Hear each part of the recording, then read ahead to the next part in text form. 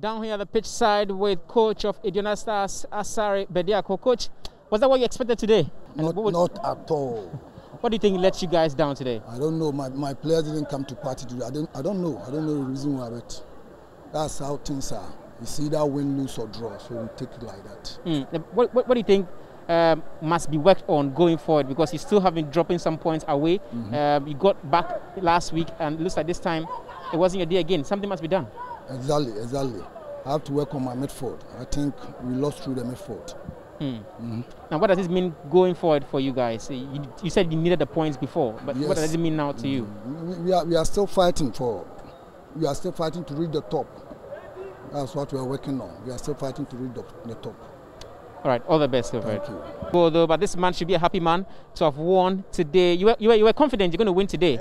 Uh, what did you see? I say, say Alhamdulillah, Alhamdulillah. We dedicate this win hmm. to our coach, who's not feeling well, and our boss, our owner. Hmm. The patience they have for us, they should keep it up.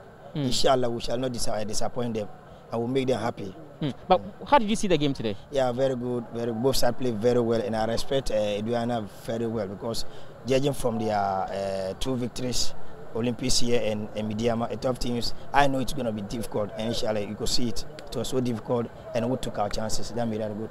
Mm. Uh, how positive does this mean uh, to you guys uh, going forward into the season?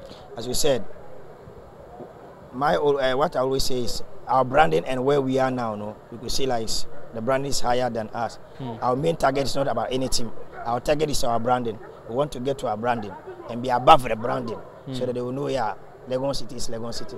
All the best with that. Thank you, sir. Yeah. I have with me now the man of the match, Atukwe, who scored the first goal. Congratulations, Atukwe. Thank you. Uh, what did you make of your team's performance today? Uh, I think uh, it's good. Uh, last week you were you were in Sogakope, you saw what happened there. Hmm. We created a lot of chances, but we were not able to do what to equalize. Then we had some uh, we had similar thing here, of which we take the lead. Then second half we had another one. Hmm. Yeah. That first goal you scored was it something you intended to do, or was just out of the moment, seeing the keeper and just decided to maybe go past him and go get the ball? No, if you look at the ball, uh, it was a 50-50 between me and the keeper, and hmm. you know me, and you know I can take that ball. So definitely it has to be it has to be a goal. And so you're raising it to go run behind him to get the ball? Yeah, yeah, yeah. yeah. And, and somehow it, yeah, it, it goes to the net. If it doesn't enter, like I'll go and finish it. now, you guys somehow are finding your feet in the league. Does that mean that you are going to solidify your position and probably challenge at the top?